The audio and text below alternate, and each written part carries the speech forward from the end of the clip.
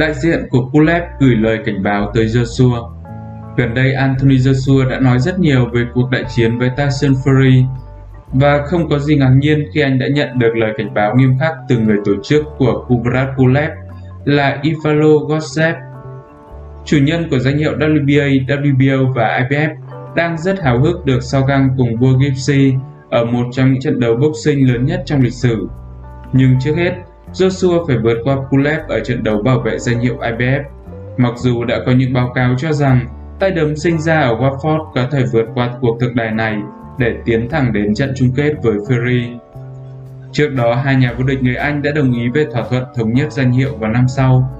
Và Eddie tiết lộ rằng Joshua muốn đối đầu với Fury vào tháng 12 nếu cuộc chạm trán giữa tân vương WBC với Wilder không diễn ra. Tuy vậy, đại diện của Pulev Gosset tuyên bố rằng bỏ qua cuộc chiến với tay đấm 39 tuổi là một ý kiến tồi tệ từ phía Joshua. Đó là điều mà họ đã dự tính vào thời điểm cuối cùng, nhưng cánh cửa đó sẽ đóng lại với một vụ kiện nếu họ phá vỡ thỏa thuận và khế ước. Có những luật sư và tòa án rất tốt ở nước Anh, thế nên họ sẽ quyết định mình có nên làm thế hay không. Tôi tin Anthony Joshua và người tổ chức của anh ta sẽ hành động đúng đắn, đó là hoàn thành những gì đã ký kết. Kurat đã đổ nhiều mồ hôi, nước mắt và máu để có được vị trí thách đấu với Aji và họ sẽ gạt bỏ những nỗ lực quá nhấy, phải vậy không? Điều đó hoàn toàn tùy thuộc vào họ, nếu họ muốn thế. Họ nên tôn trọng luật lệ của IBF cùng những giao kèo đã ký. Để trở thành một nhà vô địch, bạn sẽ phải đi đến các vùng đất khác nhau và chinh phục. Đó là điều Kubrat quyết định làm. Để tạo ra một thắng lợi chính đáng, hãy đấu ở London. Chúng tôi hướng đến một cú knockout. Urat là người đàn ông chân chính. Anh ta có lòng dũng cảm, tài năng và sức mạnh anh ấy sẽ tạo nên một cuộc lật đổ. Câu hỏi ở đây là, Aji là một người đàn ông hay anh ta vẫn là một cậu bé suốt ngày bám lấy mẹ mình? Kurat là người bị đánh giá thấp hơn, giống như một câu chuyện của Rocky. Nhưng khi anh ấy lật đổ Aji, đó là sự kết thúc của triều đại của Medrum. Những thông tin đáng chú ý về Kurat Pulev Kurat Venkov Pulev sinh ngày 4 tháng 5 năm 1981 tại Sofia, Bulgaria Biệt danh của anh là The Kropa, rắn hổ mang. Pulev từng hai lần giành đai vô địch hạng nặng châu Âu vào năm 2012 và 2016.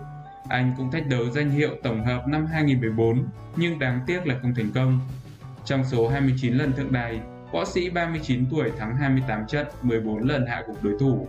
Anh chỉ chịu thất bại duy nhất một lần trước Vladimir Klitschko vào năm 2014. Những nạn nhân nổi bật nhất của Pulev có thể kể đến Samuel Peter, Derek Chisora hay Tony Thompson. Dù không sở hữu cú đấm búa tạ như các đồng nghiệp nổi tiếng khác, nhưng Pulev có khả năng phòng ngự khá tốt. Thể lực bền bỉ cũng là điểm mạnh của tay đấm đến từ Bulgaria. Ở tuổi gần 40, anh vẫn điềm nhiên trải qua các cuộc chiến kéo dài 12 hiệp. Các bạn hãy đăng ký kênh youtube của Tri Thức Vô Tận để đón xem các clip tiếp theo.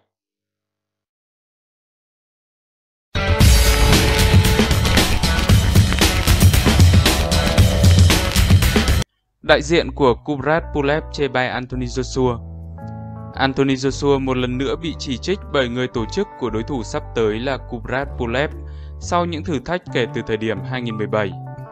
Nhà vô địch người Anh đã đánh bại Vladimir Klitschko trong trận đại chiến ở Wembley cách đây 3 năm.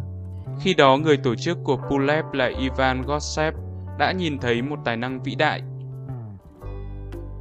nhưng sau những chiến thắng trước Joseph Parker, Carlo Takam, Alexander Poveskin thì Joshua đã thất bại bởi Andy Ruiz. Và mặc dù tay đấm đến từ Watford nhanh chóng giành lại những danh hiệu thuộc về mình nửa năm sau đó, nhưng Gossep lại không cảm thấy ấn tượng. Người đàn ông này cho biết, tôi ngưỡng mộ chàng trai này, tôi thực sự nghĩ rằng anh ta là hiện tượng đặc biệt thứ hai sau khi vượt qua Kilisco. Đó là một trận đấu kinh điển, tôi đã cho rằng chúng ta có thứ gì đó rất riêng biệt ở Joshua, nhưng sau đó là cả một sự thất vọng. Khi mà quá trình đàm phán giữa Joshua và Pulev vẫn chưa đi đến kết quả cuối cùng, Gossep thêm vào. Kubrat khá chán nản vì nhà vô địch hiện tại. Joshua không hứng thú với trận đấu này vì cuộc chạm trán lắm tiền cùng Tyson Fury đang đến gần. Với bọn họ, tiền bạc là tất cả, còn với chúng tôi, đó là danh dự và sự tôn trọng. Chúng tôi kính trọng môn thể thao này. Bản hợp đồng được ký kết bằng máu và nước mắt. Đây không phải là một trò chơi, đây là trận chiến nghiêm túc, nơi mà mọi người đặt tính mạng vào đó. Hia đang hướng đến một bức tranh lớn hơn, nhưng bạn đoán được gì không? Bức tranh lớn nhất hiện tại là Kubrat Pulev. Đó là người mà họ nên tập trung vào, vì anh ta sẽ tạo ra trận đấu mà Joshua phải nhớ suốt đời. Kubrat sẽ hạ Joshua và hất văng anh ta khỏi cuộc đua cạnh tranh danh hiệu. Gossep phát biểu trên WBN. Các bạn hãy đăng ký kênh YouTube của Trí thức vô tận để đón xem các clip tiếp theo.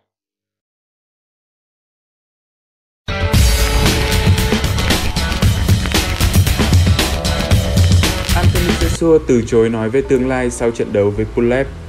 Anthony Joshua sẽ chạm trán Kuprat Pulev vào tháng 12 trước khi tranh tài cùng Tyson Fury trong trận đại chiến của những người Anh vào năm sau. Joshua khẳng định anh và Fury sẽ không thể xem nhẹ những đối thủ sắp tới của mình trước cuộc chiến thống nhất danh hiệu hạng nặng vào năm 2021.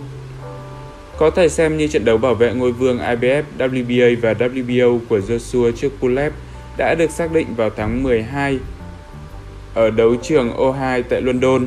Trong khi đó, thì nhà vô địch WBC Fury cũng quyết định đối đầu với Deontay Wilder lần 3 trong thời gian tới. Người tổ chức của Anthony Joshua là Eddie Hear và bản thân Fury đã xác nhận những nhất trí đầu tiên về cuộc so tài, gồm hai trận giữa họ vào năm sau, nhằm tránh việc người thua trong trận đấu đầu tiên sẽ không phục. Joshua là người trải nghiệm cảm giác cay đắng khi bị xoắn ngôi trong trận thua trước Anthony Joshua vào năm 2019 đòi được món nợ với tay đấm gốc Mexico 6 tháng sau đó. Giờ đây, võ sĩ đến từ Watford hoàn toàn tập trung vào Pulev. Với kẻ thách đấu người Bulgaria, anh đã thắng liên tiếp 8 trận gần nhất sau thất bại trước Vladimir Klitschko vào năm 2014. Đây cũng là trận thua duy nhất cho đến thời điểm hiện tại của Pulev.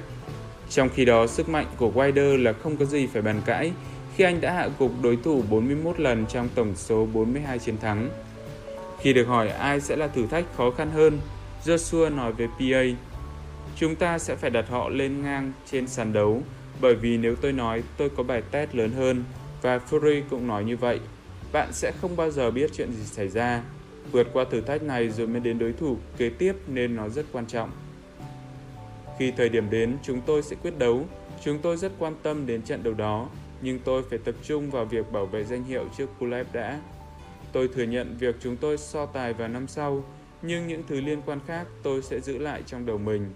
Một khi tôi đánh bại Pulev, hy vọng Fury sẽ là đối thủ kế tiếp. Các bạn hãy đăng ký kênh YouTube của Trí thức vô tận để đón xem các clip tiếp theo.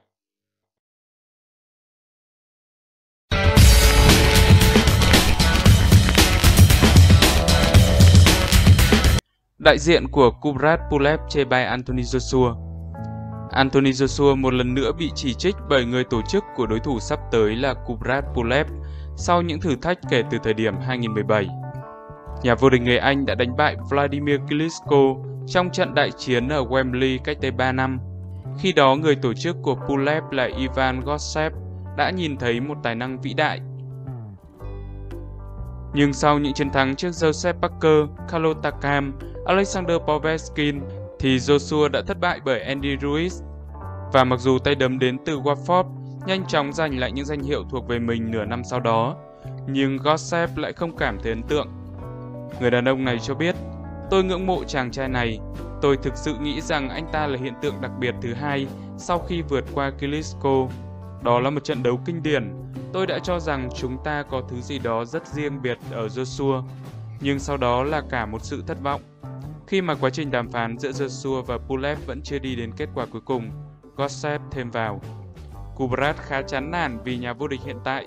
Joshua không hứng thú với trận đấu này vì cuộc chạm trán lắm tiền cùng Tyson Fury đang đến gần.